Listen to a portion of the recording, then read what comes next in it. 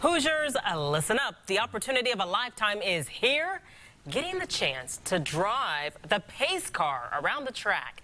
IMS and Big Car Collaborative are launching the People's 500, a fan-driven interactive art exhibit where 100 Hoosiers will participate. The exhibit is for the 100th running of the Indianapolis 500, and the now Indies Candice Aviles joins us with more about getting involved. Candice. Guys, how cool is this? Getting to ride a pace car around the IMS track. The experience is filmed and photographed and turned into part of the People's 500 interactive art exhibit that will open in May. 100 lucky Hoosiers will get the chance to participate, but you have to be over the age of 21. You also need to fill out an application describing yourself, your family history in Indianapolis, and your driving record, of course.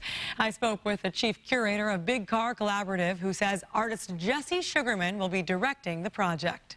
Jesse will be taking portraits and doing interviews with those people, and there will be uh, video pieces, the prints, photo, photographic prints, and an installation piece that will be an exhibit that will open May 6th of 2016.